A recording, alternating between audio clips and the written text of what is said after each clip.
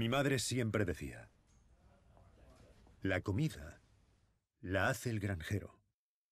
Lo que significa que te tienes que adaptar a lo que tienes a mano. Fui a ojear a un piloto y descubrí a otro. Hablamos y quedé impresionado, así que le hice una oferta. ¿Te impresionó con solo hablar? Exacto. Verás, para mí, si alguien tiene mucho talento, no solo lo demuestra con su rendimiento, es su forma de ser, de la persona. Los grandes pilotos son igual que cualquier grande. Tienen una fijación, ansia, necesidad de, de demostrar de lo que ellos realmente saben que son capaces. Nunca he conocido a nadie tan apasionada como Yume.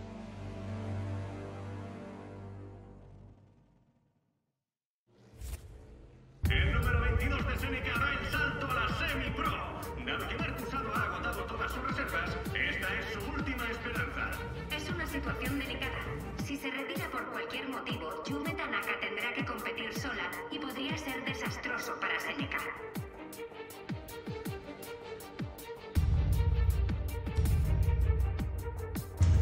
Vale, 22. Recuerda lo que dijo Ado. Intenta seguir el ritmo de Yume y que el coche vuelva de una pieza.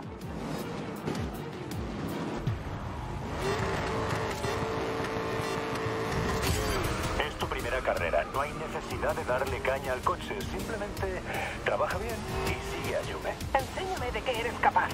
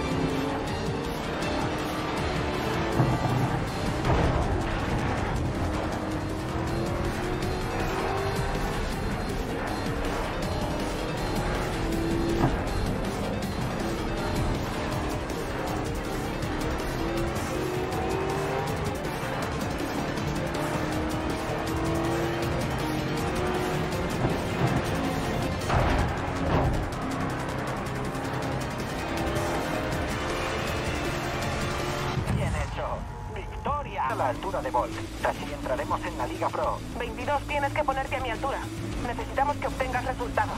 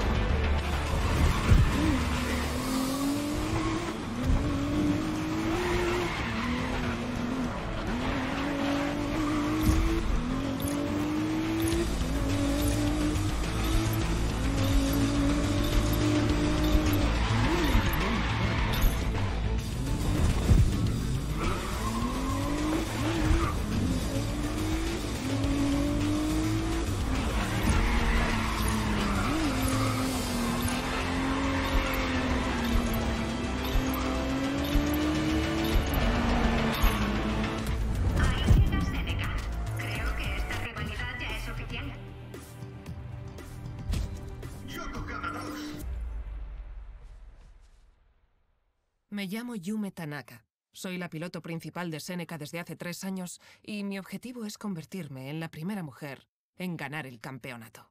Hablemos un poco del nuevo fichaje. Ujú. ¿Te gustó que contratara a un desconocido? A ver, Ado invierte en el potencial y así somos como equipo. Pero cuando llega la hora de la verdad, lo que en realidad importa es si estás a la altura. Hay que tener mucho talento para competir en tantas disciplinas y eventos en una temporada. Las escuderías no sobreviven solo con esfuerzo o buenas intenciones. Hay que ganar.